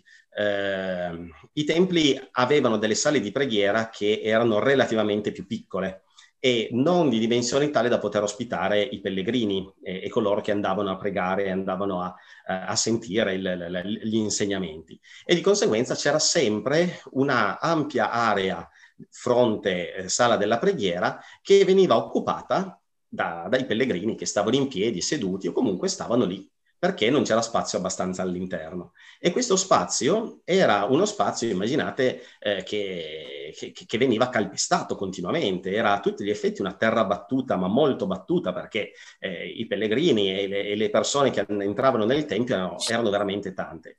E, ma a un certo punto i templi si sono arricchiti eh, evidentemente perché chi è entrato nella casta delle, dei, eh, dei, monaci ha potuto portare con sé, perché di origine nobile o, paranobile, eh, ha potuto portare anche dei denari che hanno permesso anche l'allargamento del, del tempio, l'aumento delle dimensioni del tempio stesso, con una, uno scarico di funzione eh, dello spazio esterno che non aveva più la funzione primaria di ospitare il pellegrino, in quanto questo poteva stare dentro al riparo. E siamo nell'epoca quale? Muromaci Atsumi Muromaci. Cosa va di moda? Cosa viene a definirsi? Grande, quali sono i grandi esempi? Il Tenryuji, il Saruji, eccetera cosa va di moda? Il Kare Sansui. E allora lo spazio esterno è stato occupato dal giardino che all'epoca veniva, eh, veniva letto come giardino di, di, moda, non so quale termine usare diversamente. E, ed era anche un, un, eh, diciamo una, una scelta anche funzionale, perché eh, non so se chi di voi si occupa di giardinieristica e pianta alberi in giro, ma piantare alberi in un giardino, in un terreno compattato su una terra battuta è un gran lavorone, perché bisogna fare degli scassi evidentemente profondi e di conseguenza pensare anche di fare altri tipi di giardini su questi spazi era anche problematico tecnicamente parlando la somma della moda più il limite tecnico non ha fatto nient'altro che evidenziare l'utilizzo di questi, di questi giardini, che in più avevano un grandissimo potere evocativo perché fatte di rocce. E abbiamo sentito benissimo nella, nel, eh, nella, presentazione del professor Tollini come la roccia, la montagna, sia insita nell'animo e nel, nella, eh, nella, caduta, nella, nell'ascesa della, dei kami e della, delle divinità.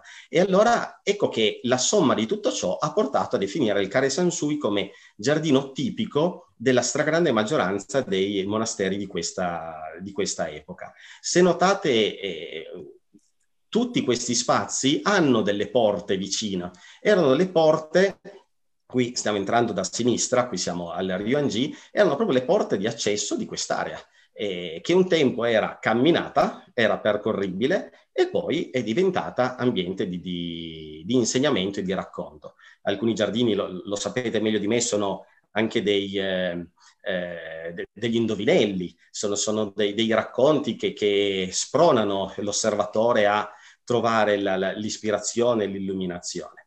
Eh, ma oltre allo stile Karel Sansui che si insediava sempre più all'interno dei monasteri, nei giardini invece di residenze e delle persone non legate all'ambiente religioso si andava sempre più a definire un nuovo stile, che era quello del Roji, vale a dire il giardino del tè, che nasce proprio in questo periodo, la Zuchi eh, Muromachi.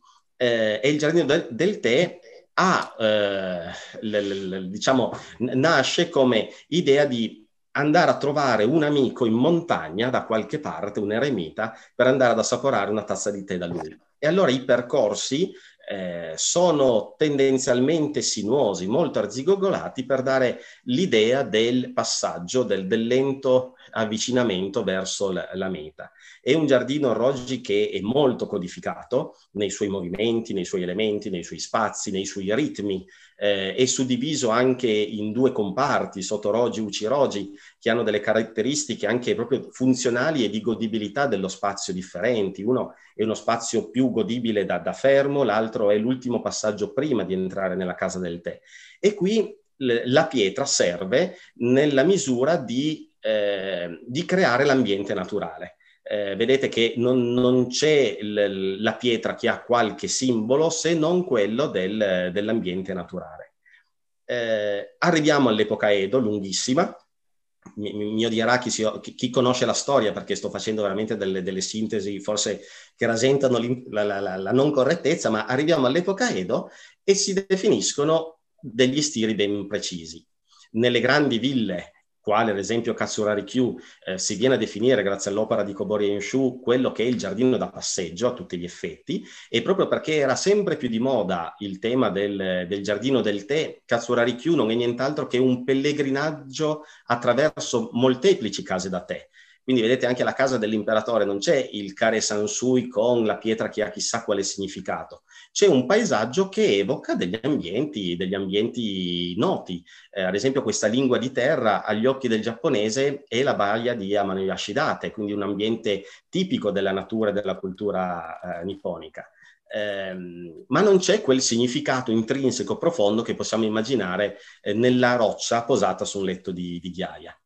Eh, nel medesimo periodo vengono a, le, eh, vengono a definirsi le cosiddette eh, residenze dei monaci che si ritirano dall'attività e, e nel particolare quei monaci con grande cultura, soprattutto la cultura cinese che all'epoca era considerata, eh, non so perché in questo momento non potrebbe anche essere tale, ma era considerata come eh, radice pura della cultura. E quindi c'è eh, in questo giardino che è Oshi Sendo ehm, il monaco, del, il monaco che ha eh, costruito questa casa era un grande conoscitore della lingua cinese e del, delle poesie classiche cinesi, aveva un grado di raffinatezza, di cultura raffinata molto elevato e probabilmente per natura sua di, di, di religiosa, il giardino eh, prospicente, la, la, la, grande sala, è un care sansui, ma vedete che è un care sansui che libera l'animo, che, che, che, che dialoga con la quinta di, di, di aceri che c'è sullo sfondo.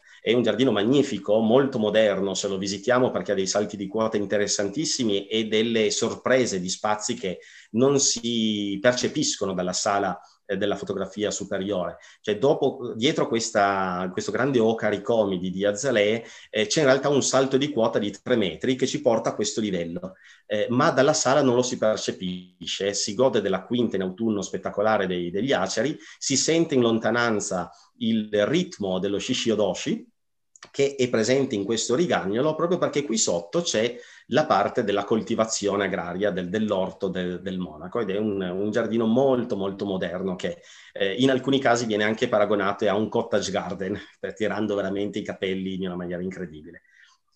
E sempre più viene a definirsi lo stile Tsuboniwa. Eh, città, la città cresce, eh, le macie sono sempre più evidenti, diventa necessario anche un'architettura che strizzi l'occhio da una parte alle tasse, quindi riduca la, la, lo sviluppo della superficie in affaccio sulla, sulla, eh, sulla strada a favore di, di una eh, architettura che si allunga per mantenere la volumetria e gli ambienti utili per, per la vita e per il negozio. E in questi ambienti lunghi, lunghi, lunghi è necessario necessariamente favorire l'arieggiamento. E allora in questa struttura lunga, lunga, lunga si vanno a aprire dei giardini, in modo tale che eh, aprendo le porte scorrevoli da una stanza all'altra e cambiando l'umidità di un giardino rispetto all'altro, semplicemente bagnandolo, si creano delle, dei moti convettivi che rinfrescano l'ambiente. Però vedete che che cosa stava andando sempre stava diventando sempre più di moda nel periodo?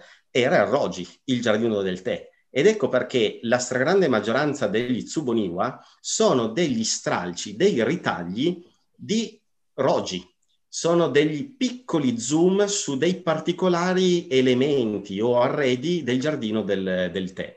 E, sono rari gli Tsuboniwa Kare Sansui effettivi, sono più che altro ricchi di lanterna, di pozzi, di, di Chotsubaki, di, di, di eh, Tsukubai, di, di passi, di, di, di, bivi, così come potremmo trovare in un giardino Rogi, ma perché? È, è ovvio, eh, la, la, moda, il gusto portava verso quella direzione e negli Tsuboniwa troviamo soprattutto questa presenza. Arriviamo finalmente a un'epoca moderna, eh, l'epoca Meiji Taisho, quindi a cavallo tra eh, 1800 e 1900, e la storia dell'architettura del, del, giardino individua in questo periodo la rinnovazione, una, una rinascita del giardino giapponese attraverso non più la riproposizione di eh, composizioni stereotipate del Rogi all'interno degli Tsuboniwa o, o, o, i soliti Kare Sansui all'interno dei, dei, monasteri, ma un riavvicinamento vero alla natura, all'ispirazione naturale. E il maestro indiscusso di, questo, di questa transizione è Ogawa G.A., detto anche Weiji, il, il, capace, un po' come Capability Brown in, in Inghilterra, è il settimo Ogawa G.A. di una generazione di, di, di Ogawa GA che, che, oggi ancora c'è, oggi opera il dodicesimo Ogawa GA a Kyoto, un'attività, è il pro, pro, pro, pro nipote del, di Weiji, eh, ha una sua attività, tiene non solo, mantiene non solo i, i, giardini che aveva fatto il suo avo, ma ne costruisce, ma Ogawa GA è veramente il, ehm, colui che ha traghettato il giardino verso un ritorno alla naturalezza e alla creazione di ambienti che veramente danno la, l'impressione del, della non presenza del tocco dell'uomo, del tocco del, del progettista con anche quell'ambiente, quel, quel, quel trucco eh, di, di, di, massi volumetrici che dopo eh, vi, vi, racconterò.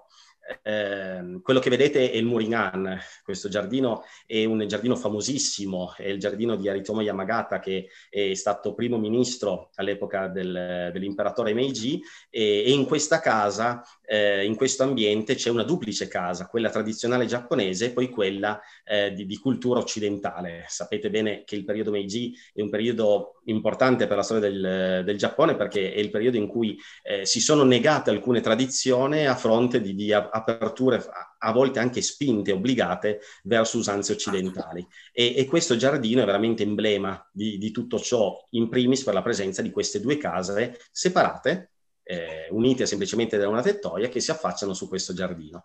Eh, alcuni critici del, della storia del giardino giapponese leggono anche la, la, la presenza di questi prati, di queste collinette come un, un, richiamo al giardino paesaggistico inglese. Esatto. Eh, forse sì, forse no, mm, non ho le competenze per, per eh, evidenziarlo e raccontarlo. Quello che è certo è che eh, alcuni giardini di Ogawa GA e così come questi, anche quelli successivi, si arricchiscono anche di nuovo di grandi prati, di grandi aperture. Qui siamo invece nelle Yanjingu, un tempio shintoista il cui giardino è sempre stato fatto da, da Ogawa GA, dove la pietra è utilizzata in modo molto moderno perché in, eh, a servizio di una idea progettuale che non è quella della natura ma è quella del suono. Eh, queste pietre che, che, vedete posizionate in questo modo ci permettono, permettono al suono, all, all'acqua di suonare come farebbe in un rigagnolo di montagna e allora sono posizionate non in un, evidentemente non in una maniera naturale, perché è evidente quando le si guarda che, che non sono naturali, soprattutto quando è, si è lì sul posto e le si guarda, ma la sensazione sonora sì. Quindi la pietra è sì utilizzata per ricreare il paesaggio, ma è anche veramente uno strumento compositivo, ma compositivo anche musicale, eh, come in questo caso da eh, Ogawa GA si apre quello che è considerato il, il, giardino moderno contemporaneo. In primis il padre Emirei Shigemori, che nel 1939 eh, spiazza tutti andando a costruire il, il giardino del Tofukuji in maniera eh, inaspettata, eh, perché con rocce posizionate come i, i Niwashi dell'epoca e fino all'epoca Edo avrebbero considerato errata, assolutamente da non farsi, perché eh, guardate nelle immagini in alto a sinistra, posizioni labili, non certe, non... Eh, assolutamente piantate nel terreno con certezza, ma addirittura pian- pietre che eh, potrebbero risvegliare dei kami negativi, risvegliare veramente maledizioni, perché pietre orizzontali vengono posizionate in modo verticale. Ma eh, Mirei Shigemori eh, utilizza, gestisce le pietre anche in maniera artistica. Eh, basti vedere eh, quello che è il giardino sul retro del Tofuguji, che è, è, è, sempre di duplice interpretazione se richiamo evoluzione di motivi grafici eh, classici del giardino giapponese, eh, come può essere il, il tokonoma che troviamo a Katsura Rikyu, oppure richiamo dei quadri di Mondrian, coevo più o meno del periodo. Quindi è, è, è sempre stato Mirei Shigemori ehm, un'avanguardia sul giardino e che, che, ha studiato evidentemente il giardino perché le sue conoscenze sono derivate dalla, dallo studio in campo dei giardini. Lui, a lui si, eh, si rifà il censimento di tutti i giardini di Kyoto, non solo in termini di censimento eh, numerale e, e, nominale, ma di rilievo topografico di tutti i giardini. Lui ha avuto la possibilità di entrare nei giardini, misurarli, misurare l'altezza delle rocce, la dimensione, eh, le, le distanze tra una roccia e l'altra, per andare a restituire delle planimetrie a corredo di quella che era è stata la prima enciclopedia sui giardini eh, dell'epoca e le sue planimetrie le usiamo ancora oggi studiando il giardino giapponese, cioè le sue planimetrie sono ancora quelle che troviamo su molti libri di storia del giardino come, come censimento. Quindi lui si è eh, formato così eh, sul, sul, giardino, lui nasce in realtà come eh, maestro di Kebana, e, e, a seguito di un, una fortunata pubblicazione di, di un'enciclopedia sull'Ecobiana, il medesimo eh, editore gli ha chiesto di fare una cosa analoga sul giardino eh, attraverso lo studio, il censimento, il racconto, gli schizzi, l, l, l, diciamo, lo studio di, dei giardini esistenti su Kyoto e così si è formato. Eh, questo è un bellissimo giardino, è l'ultimo giardino, è tra gli ultimi che ha fatto Mirei Shigemori, siamo al Matsuo Taisha, è un tempio shintoista dedicato al tè e, e non poteva che ricreare un giardino storico, il Kayushiki Teien, eh, no, chiedo scusa, il eh, Kyukusui no En, il giardino quello che eh, con la barchettina e la tazza di sake, eh, in maniera molto moderna con le pietre che eh, sono sì scenografiche, ma eh, ricordano e evocano a tutti gli effetti delle figure antropomorfe dei, dei poeti, delle persone che assistono a questa festa del, del giardino.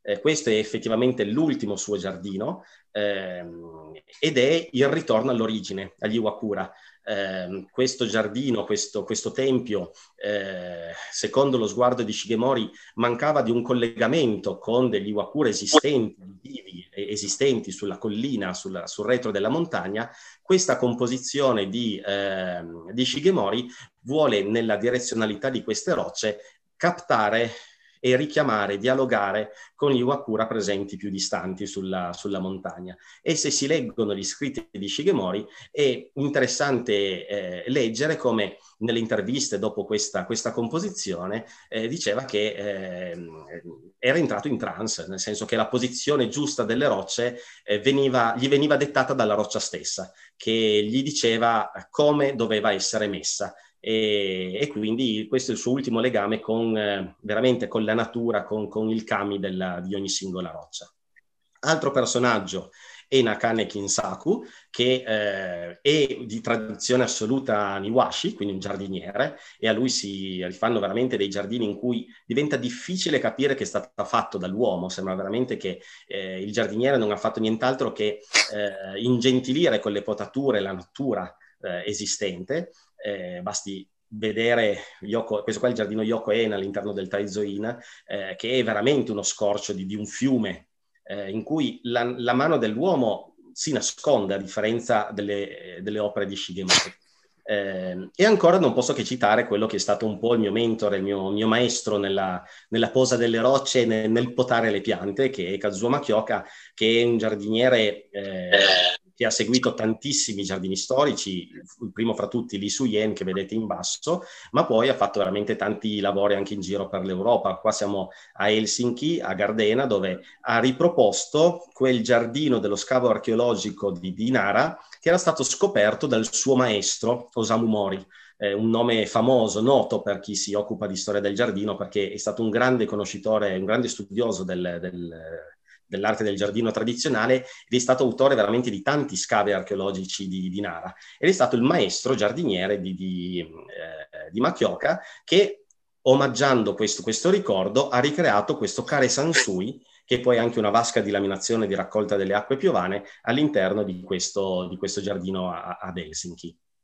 Eh, finisco questo excursus con Shunmio Masuno, che è un monaco. È un monaco e di conseguenza eh, l- utilizza la via della pietra per, per insegnare e imparare. E, ed è interessante notare l'evoluzione dei suoi lavori e notare come, se è vero che all'inizio l'utilizzo della roccia era tal quale, negli ultimi lavori sempre più utilizza delle rocce anche lavorate o frutto di cavatori frutto di, dell'azione della dinamite o del, del, foro che stacca la roccia dal, dall'ambiente, da, dall'ambiente, naturale e, e, utilizza questi elementi, grafismi, questi grafismi come eh, impronta di, di, di, dialogo tra il cavatore, tra l'uomo e la, e la materia roccia. Ed è interessante come eh, lo utilizzi eh, come materiale. Poi Shunmyo Masun è diventato anche una firma internazionale del, del, landscape, quindi è sì Monaco, ma ha uno studio di architettura a tutti gli effetti, con dipendenti, con, con parcelle stratosferiche pazzesche, cioè dei cachet alla Renzo Piano e oltre, eh, ma è eh, un, un, autore assolutamente modernissimo su del, del giardino giapponese. Quindi c'è il significato in alcuni giardini, la natura mi sento di dire che pressoché c'è sempre, ma capiamo meglio questo ritmo. Questo ritmo è sempre un ritmo eh, legato al, alla simmetria, è sempre quello che potremo, citando la tecnica di piantagione degli alberi, ehm, essere retto dai tre punti che sono Shin, So e Tai. Eh, ma proviamo a capirli. Sono, la posizione delle rocce è sempre a dei vertici asimmetrici, eh, queste hanno uno sguardo, non ho nulla da insegnarmi, insegnarvi perché sapete meglio di me come anche il Suiseki guardi e come gli alberi guardino nel, nell'esposizione eh, nel tokonoma. Eh, quindi le rocce guardano e si guardano, ma non è che si fissano l'uno con l'altro, individuano uno spazio di reciproco sguardo. Eh, se dobbiamo immaginare le, le, le, le, rocce non sono mai uguali, eh, perché la simmetria non è solo planimetrica ma è anche volumetrica, e nel momento in cui deve comparire o vogliamo mettere una quarta, un quarto elemento, ebbene non è mai posizionato come lo vedete, ovvero non è mai un punto oltre i tre oltre la simmetria, perché questo eh, crea, crea, degli spazi che sono ritmati da, da delle, delle, coppie numeriche che, che non sono più eh, quella del 3, 5, 7, 11 e quant'altro. Se c'è un'altra roccia, la roccia è sempre accostata nella proiezione dell'altezza della precedente. Quando una roccia, ecco, diciamo che l'unità viene riconosciuta graficamente, otticamente, nel momento in cui accostiamo questa seconda roccia in uno spazio che è pari entro i, l'altezza della roccia generatrice. Se lo mettiamo più lontano, come in questo caso, ecco che non è più un punto visivo, ma eh, diventa un punto distaccato. In questo caso eh, romperebbe quella, quella, quel dinamismo di questa, di questa tripletta. Eh, nel momento in cui un punto, soprattutto se è Shin, si evidenzia, e quindi in questo caso il punto visivo è, è uno, pur essendo costituito da tre, pian- da tre pietre, perché vedete è costituita all'interno e rientrante all'interno della proiezione dell'altezza della più grande, ecco che viene spontaneo bilanciare bi- e ribilanciare il tutto attraverso un, um, un'aggiunta a ciò che esso è. Mentre eh, Tai è, è, è, pur sempre, che vuol dire eh, l'opposto, quello di abnegazione rispetto agli altri due può essere sempre l'elemento eh, più, più piccolino. Ebbene, questa idea di composizione che poi si rende sempre più complessa man mano che aggiungiamo rocce e, e aggiungiamo trilaterazioni, eh, definisce uno spazio, uno spazio visivo e il vuoto che molto spesso c'è nel giardino zen, eh, nel giardino buddista, nel Kare Sansui eh, Zen, ma che nella composizione di un ambiente naturale è pur sempre presente, perché se queste rocce fanno parte di un paesaggio naturale, ecco che il, l'attenzione dello sguardo viene buttata all'interno di quest'area. E vi faccio ora vedere, eh, se la, la, tecnologia mi assiste e se ho ancora qualche minuto, ehm, vi faccio vedere un esempio, un paio di esempi di giardini. Andiamo subito al Muringan, ok? Andiamo a, a, a Kyoto. Eh, datemi solo conferma se vedete che stiamo navigando in giro per il globo e stiamo arrivando a Kyoto. Vedete che siamo in Giappone? No, non si vede Francesco. Neanche adesso che ferma l'immagine? No, purtroppo no. Ah, aspetta, aspetta, aspetta. Prova però a metterlo in... Eh, Così. Dimmi se lo vedi. Sì, adesso sì. Ok, qua siamo a Kyoto. Tanti sono stati, alcuni andranno. Nella parte sud-est c'è un, un quartiere nato nell'epoca Meiji a seguito di, di, un canale che ha portato l'acqua dal, dal lago Biwa e ha permesso di eh, rendere vivibile anche questa zona della, della, città. E qui siamo a casa di Aritomo Yamagata, quel giardino fatto da, eh, Kobori, da eh, Ogawa GA, che vedevamo prima in fotografia, e qui è importantissima ed è veramente eh, eh, di insegnamento questa vista che adesso proviamo a vedere. Eccoci qua.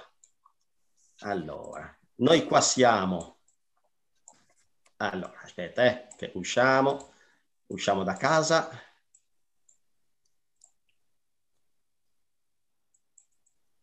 Usciamo. Vediamo se la vediamo da qua. Allora, aspetta, eh. Non riesco a uscire da casa. Aspetta che esco da Street View e rientro. Mettete pazienza. Così. Ok, adesso siamo, dovremo, ecco dai. Volevo stupirvi con effetti speciali, ma non riesco a uscire dal dalla casa.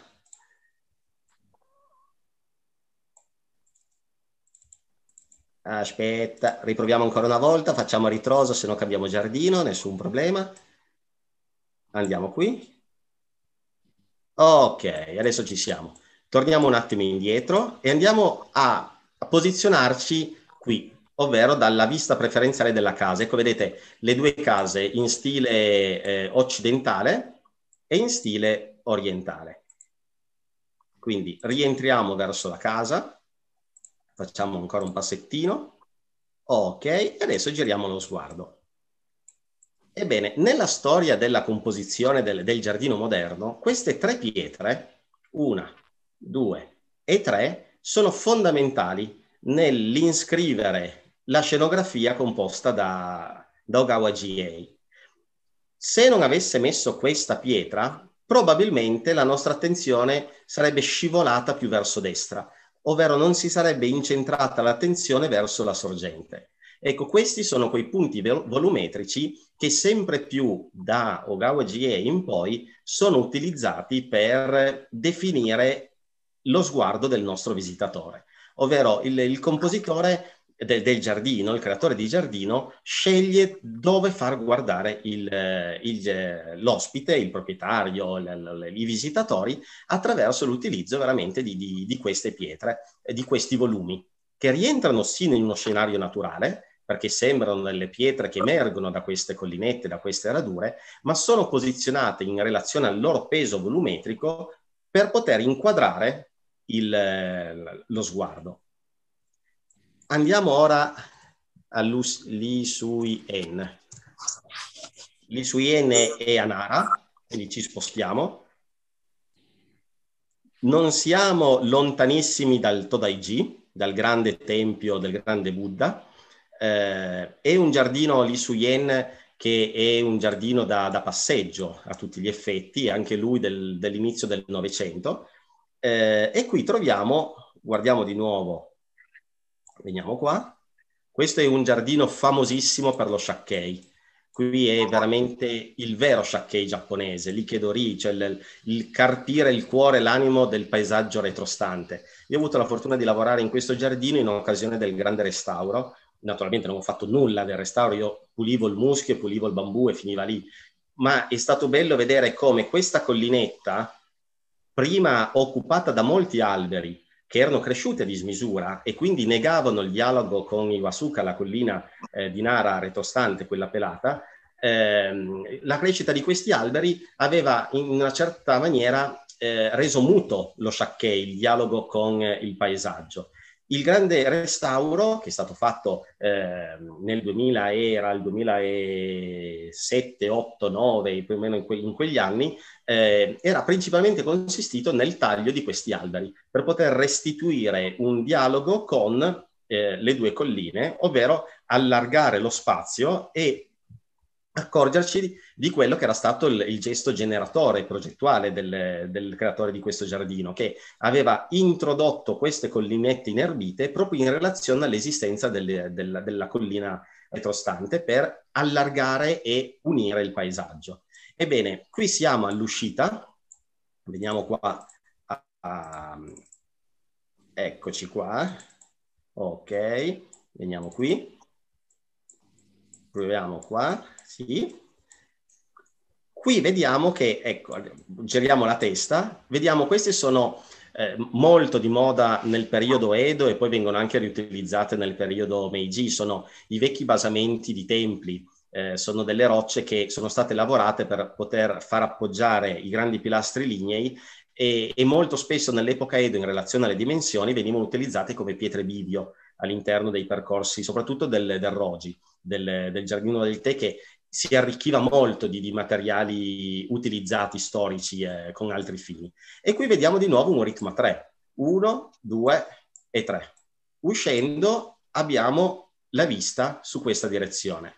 Ed è interessante, questo lo faceva ben notare Machioca nei, nei, nei suoi racconti di, di, del giardino, come anche arrivando da, da, da, questo percorso e quindi posizionandoci più o meno all'uscita del, della sala del 3, ecco che avevamo questa tripletta di rocce che incorniciava il, il portale d'ingresso del Todaiji. E questi, immaginatevi, lui diceva, immaginate che ci siano ancora le colonne, proiettate in verticale le colonne, ed ecco che il nostro scenario, la nostra immagine è, è ritratta.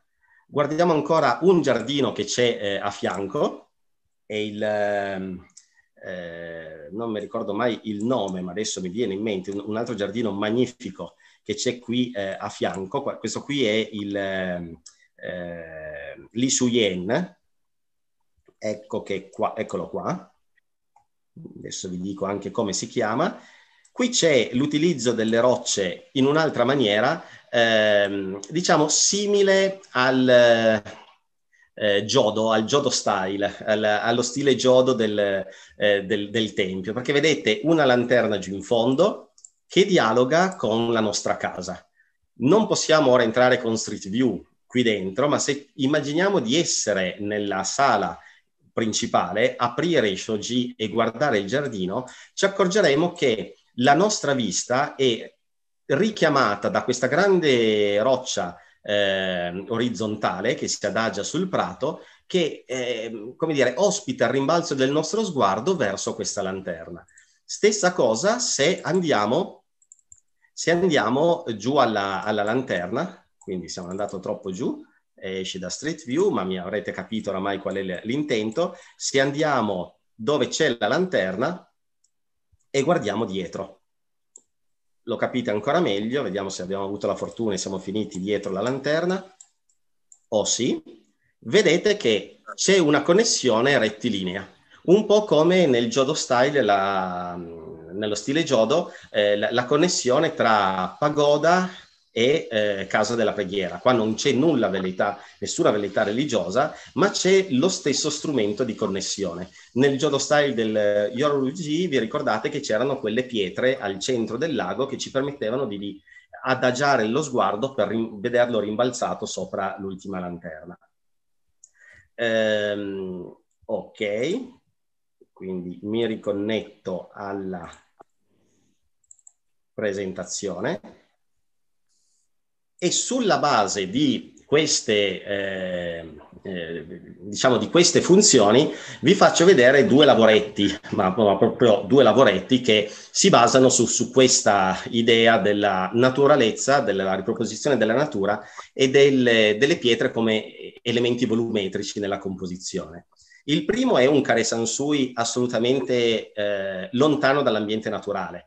Eh, c'era stato commissionato in una palestra, quindi doveva, immaginate, ehm, tranquillizzare chi sta facendo stretching e quindi l'idea del, del proprietario era quello di fare un, un giardino giapponese e ehm, in questo spazio che è, è, totalmente naturale perché vedete il prato è finto, questi cumuli di terra sono, questo qua è Akadama resinata, eh, ma è a tutti gli effetti un percorso d'acqua. Eh, abbiamo cercato di dare dinamismo perché la stanza poi prosegue sulla destra ehm, e quindi c'è un percorso di, di, di, acqua. Questa roccia ritengo nella composizione fondamentale perché va controcorrente e ci ributta l'attenzione verso il, il, centro della scena, che è l'uscita di questo percorso dalla, dalla reception, quindi qui dietro è nascosta la reception, quindi c'è un, eh, un percorso a sorpresa che, che, che, attraverso questo ponticello ci porta in questo ambiente naturale. E, ehm, e questa pietra la ritengo importante perché è un punto volumetrico che eh, serve per eh, diminuire, rallentare il corso veloce dell'acqua e di conseguenza lo sguardo rimane ancora all'interno.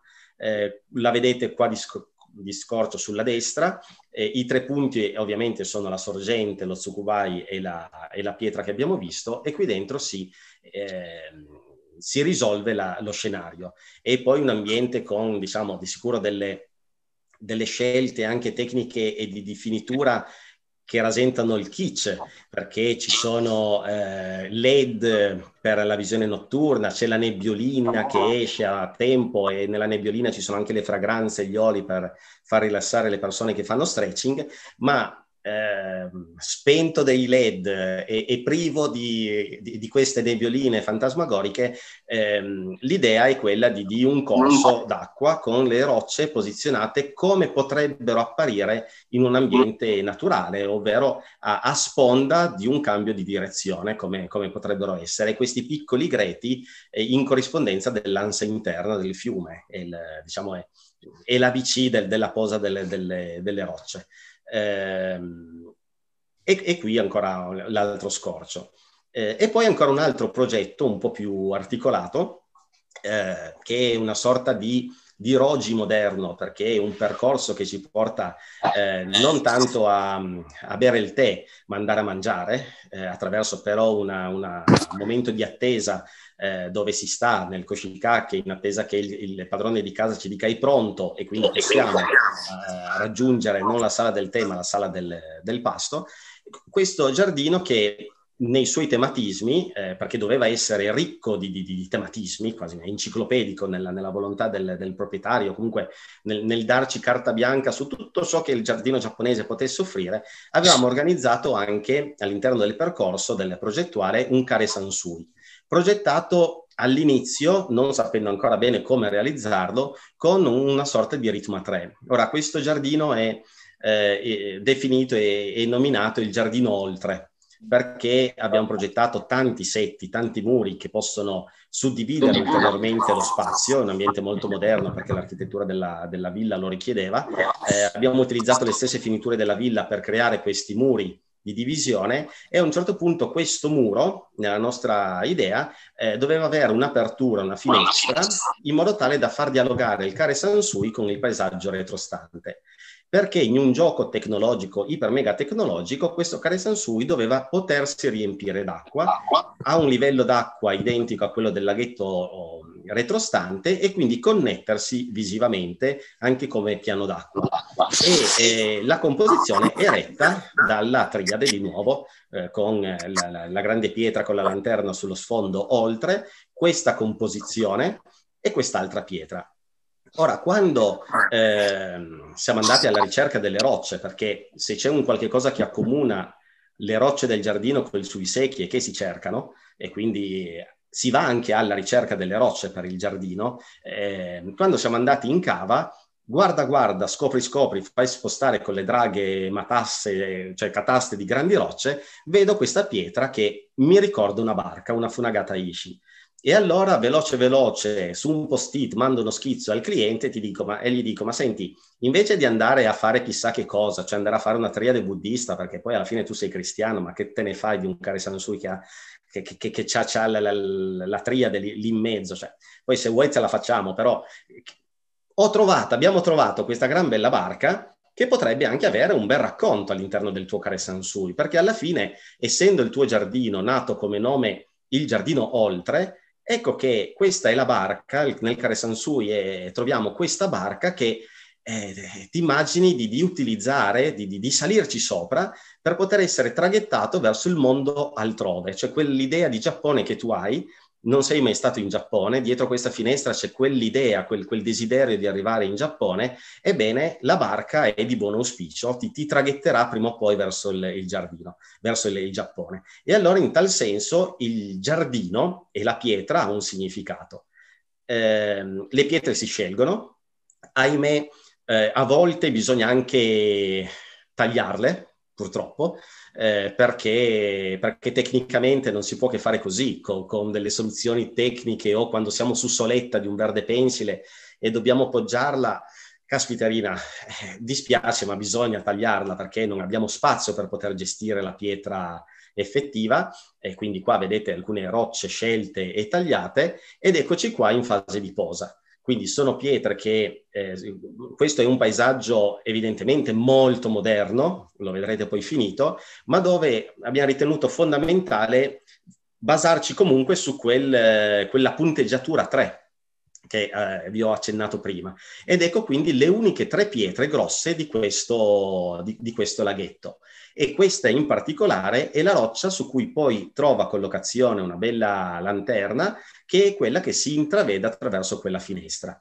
E qui vedete la pietra barca, la Funagata Ishi posizionata, che punta come sguardo verso la, la, la pietra che si sta posando, e questa è la parte del laghetto, vedete, le tre pietre che dovrebbero mantenere l'attenzione verso questa, questo scenario. Eh, o comunque que- questa dovrebbe eh, limitare la voglia di allargare lo sguardo verso sinistra. Quindi dovrebbe essere perlomeno un, un punto di stop per guardare lo scenario e poi certo accorgerci di questa, di questa finestra. Eh, questo è il Care Sansui in fase di adattamento, che si sta caricando d'acqua. Eh, vedete che eh, man mano che eh, si carica d'acqua a- arriva il livello a-, a quello che vedete sullo sfondo. Qui siamo ancora in una fase di, di cantiere, vi faccio vedere un giardino che non è ancora assolutamente finito, eh, si sta completando, mancano ancora delle, delle, parti, qui stiamo valutando e correggendo anche l'altezza della ghiaia, quello che di sicuro... Ehm, mi è venuto, ci è venuto in mente come, come idea per, per, bilanciare ancora più la tripletta è che eh, così come c'è nel Daisenin quel cono quel, quel, cono di ghiaia, che, o quei due coni di ghiaia nell'oceano, eh, probabilmente lasceremo ancora un, una, un cumulo di ghiaia che non si copre dall'acqua da questa parte ma principalmente per bilanciare il, la composizione. Senza questo cumulo la, la composizione eh, scivolerebbe sulla sinistra. E allora sto ancora valutando, stiamo valutando se qui mettere una pietra come se fosse un'isola, un qualche cosa da cui eh, che, che, non è coperta dall'acqua o se eh, utilizzare il, il, cono d'acqua, al, il, il, scusa, il cono di ghiaia che non si bagna dall'acqua. Quindi questo, questo velo dovrebbe essere il livello dell'acqua che, che, viene raggiunto. Qui non viene raggiunto per, per motivi tecnici, nel senso che ci sono tutti i pozzetti di ispezione, quindi ovviamente l'acqua mh, non può arrivare e a tutti gli effetti un, eh, un Rogi, perché nel, nel, percorso a un certo punto c'è anche il Koshika, che vedete iper mega moderno, quindi non ha niente a che vedere con la costruzione classica del, dell'architettura giapponese, se non la proporzione della falda e di come la luce entra in, questa, in, in questo involucro. Eh, qui siamo in un ambiente in cui la falda è molto molto bassa, quindi la nostra pupilla si dilata eh, perché osserviamo il giardino da un ambiente ombroso e osservando il giardino da un ambiente ombroso la nostra pupilla si dilata e percepisce più vividi i, i, i colori. Quindi c'è questa idea, ma eh, non c'è l'architettura classica del, del Koshikake. L'ambiente è quello della macchia mediterranea, quindi quello che abbiamo ricreato e la macchia mediterranea, ehm, con poche, poche rocce, ci sono, ce ne sono qua e là, oltre a quelle dei camminamenti, ma perché l'evocazione data era di, di un ambiente che non fosse così ricco di rocce, ci sono, ma nella giusta misura, quindi eh, non è detto che il tanto è sempre necessario nella, nella composizione. Eh, e poi alcuni capitoli del, del, del giardino eh, con anche de, rivisitazioni, un po' di, di, di ambienti classici del, del giardino. Eh, e niente, questo è quello che volevo approfondire con, con voi sul, sul tema de, delle rocce all'interno del giardino. Quindi sono, sono, a vostra disposizione. Chiedo scusa se sono andato un po' lungo, mi sa che mi sono fatto un po' trascinare, chiedo scusa.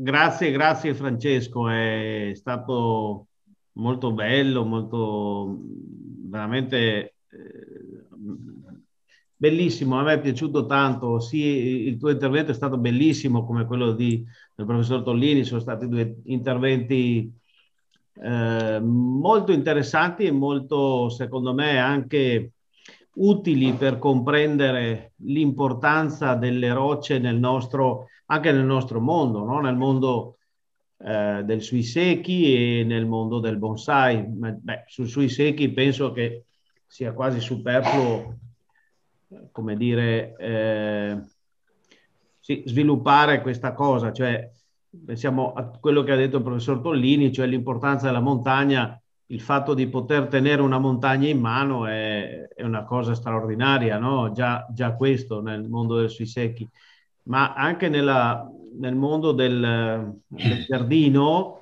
che tutti noi in qualche modo viviamo, se non magari eh, in prima persona, ma di riflesso, perché tutti i bonsaisti hanno più o meno un piccolo grande giardino e quindi già questo ha una sua importanza.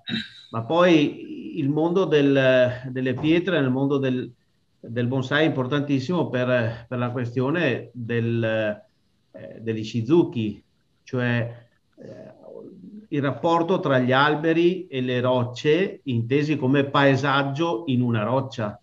E alcuni punti che tu hai toccato sono estremamente interessanti proprio per definire in qualche modo la composizione su una roccia. Questo sarebbe un tema anche molto interessante da, da poter sviluppare. Quindi io vi ringrazio tanto per quello che questa sera ci avete insegnato e ci avete regalato e, e lascio un po' di spazio a, a, a chi vuole fare un, qualche domanda, qualche considerazione. Grazie ancora, ma siamo qua. Io ne ho una. Quando partiamo? Per dove? Il Giappone, ovviamente. Insieme a Francesca e al professor Tollini. Pensavo, pensavo che dicessi, pensavo che dicessi per, per... in autunno. Io spero in autunno di poter andare a vedere le Che come... bellissimo viaggio che ci avete fatto fare, grazie. Davvero, confermo.